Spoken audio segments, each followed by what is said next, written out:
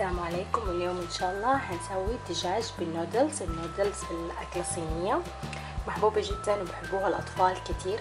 عشان كده أنا دايما بسوي لها أيام الجمعة يوم الإجازة. آه، هنحتاج آه، هذا النوع من النودلز اللي هو من ماركة مكاتي. هي أساسا منتجات فلبينية ف يعني بتزبط معي في الأكلة. بس ممكن تستخدمي سباجيتي عادي. وممكن شعرية الرز عندي اثنين صدور دجاج كاملة من صدور سادة حوريها ليكم بعدين بعد ما أخلص الفيديو. عندي هنا أربع تومات مبشورة معاها جنزبيل تقريبا بشرته. دول في البداية هطبخهم مع بعض تمام؟ الحين أول حاجة أسلق المكرونة مسخنة موية في الحلة وهحط عليها المكرونة وهطفي النار على طول. حطيت المكرونة على موية مغلية طفيت عليها النار خلاص؟ يمكن أصعب حاجة في الأكلة دي هي تقطيع الخضار. عندي فلفل حمر كامل وأصفر كامل فلفل وجزر وعندي فلفل أخضر. أول شي بديت حطيت الزنجبيل وحطيت الثوم على زيت السمسم. زيت السمسم أساسا خففته بشوية من زيت الذرة النباتي تمام؟ بعد ما يبدو كده يعني تشم ريحة الريحة خلاص بالدجاج. الدجاج أساسا أنا جايبة الصدور الكبيرة اللي هي 1 كيلو ومقطعتها شرايح تمام؟ وغسلتها بموية ملح معاها شوية خل. حاجة بس أقلب معاهم هي شرايح الدجاج. ولين شوية الدجاج يستوي. على النار شوية ما ينزل معي الدجاج موية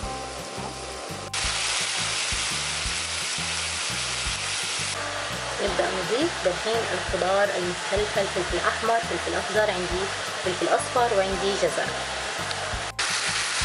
حطيت الخضار أعطيه كده الخضار بسكر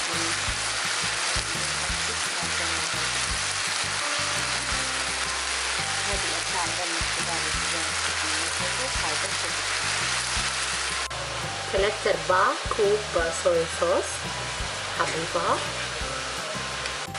هضيف عليها ملعقة كاملة من نشا في ناس بضيفوا سومترا عشان تلاقيها شوية يعني حارة بس أنا عشان معايا أطفال فما هحط شطة. أضيف عليها كفاية الشوربة.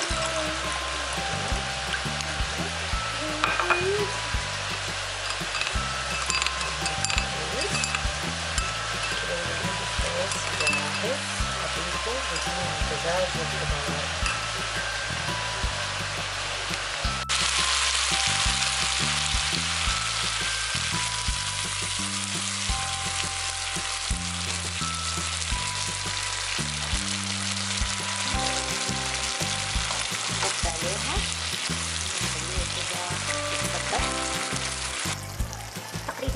خلاص صار عندي ثقيل هضيف عليه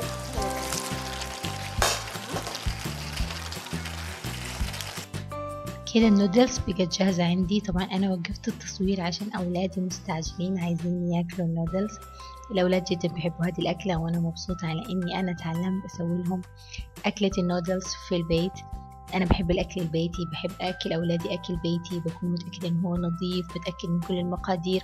طبعا لاحظتوا أنا ما حطيت ملح لأن الصويا صوص مليانة ملح. تضيفوا ملح تضيفوا فلفل شطة تضيفوا كاتشب.